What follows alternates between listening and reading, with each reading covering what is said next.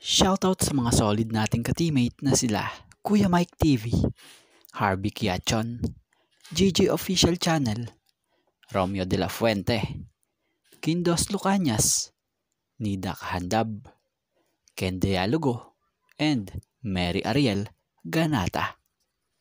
Mga ka-teammate, John Pinto, lipat ko po na na. At ang matindi pa rito, napakagandang kontrata ang natanggap niya sa koponan ng Barangay Hinebra.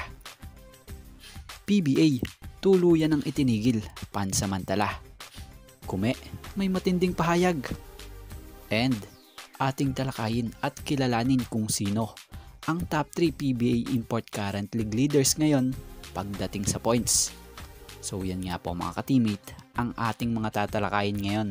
Pero bago ang lahat, huwag niyo po munang kakalimutang mag-subscribe sa ating YouTube channel at pakiclick nyo na rin po yung bell button para lagi kayong ma-update sa mga susunod pa nating videos at para makita nyo rin yung shoutout ko para sa inyo.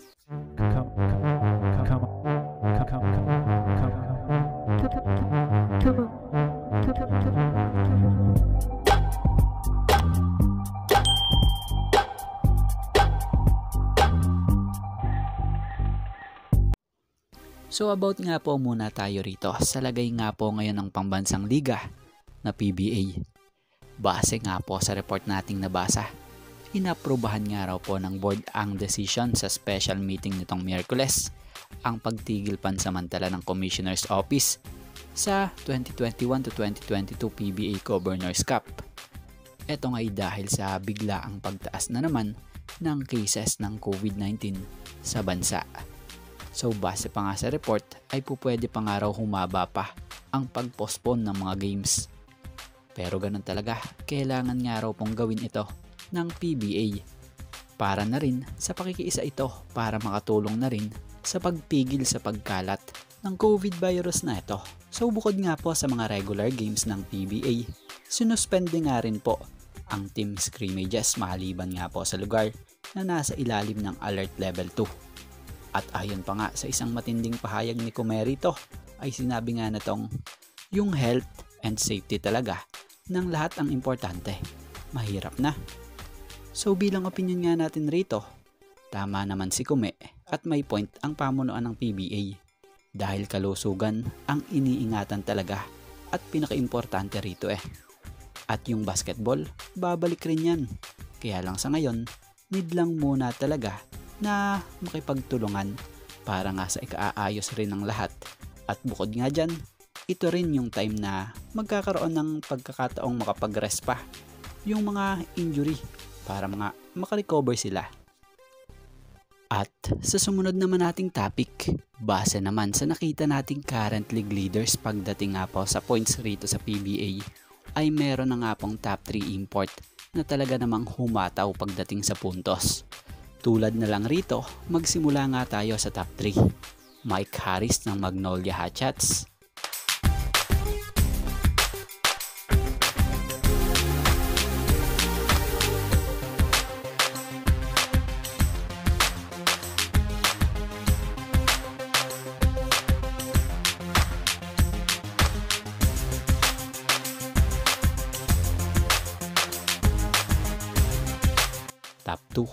KJ McDaniels ng NLEX Road Warriors.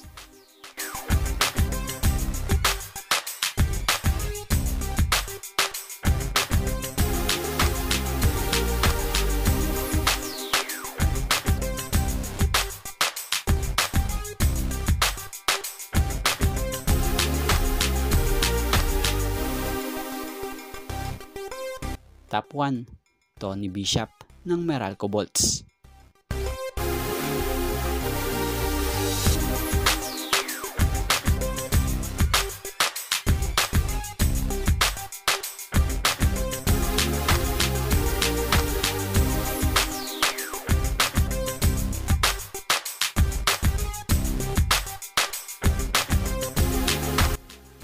Sa last naman nating topic, about nga po sa bagong kabarangay na si John Pinto. So kasalukuyan nga pong nag-average itong si Pinto ng 9 points per game, 2.50 rebounds per game, and 5.50 assists per game. So base nga po sa pinakabagong report, tuluyan na nga pong nagkasundo ang kampo ni Pinto at ng Hinebra para sa 3-year deal contract nito.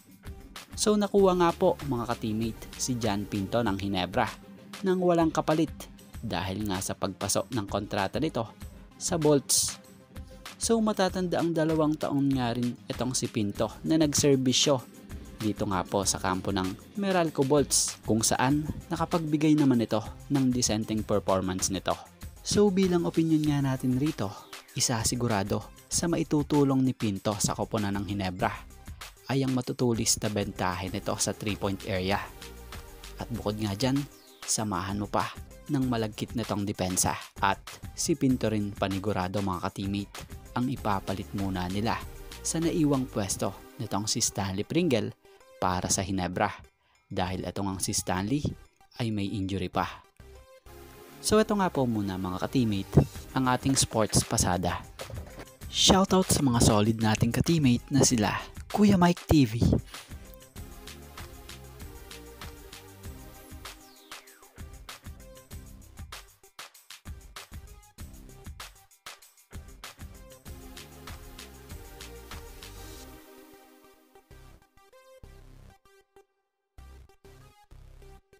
Harvey Kiachon,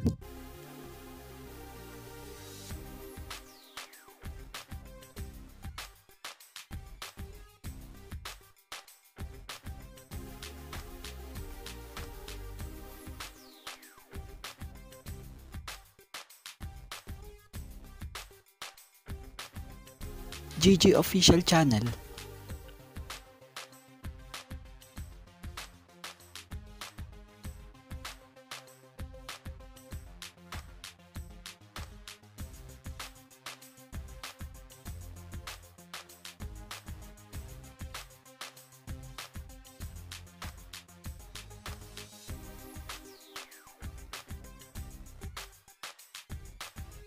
Romeo de la Fuente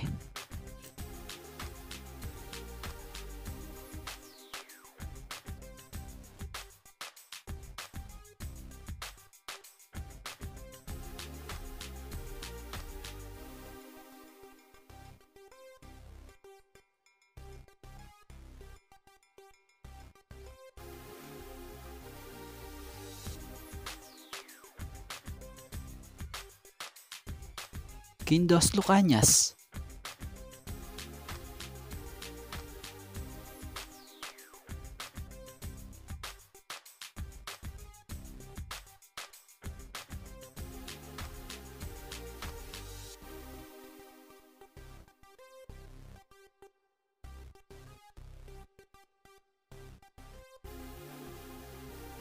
Nidak handab.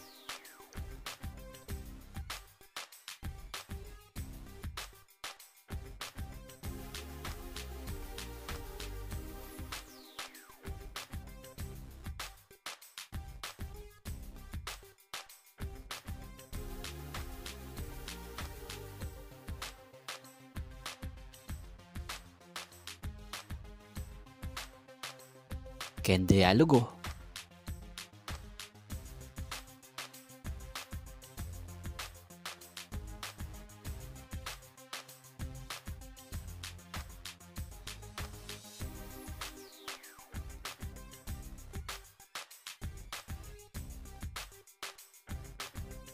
and Mary Ariel Ganata.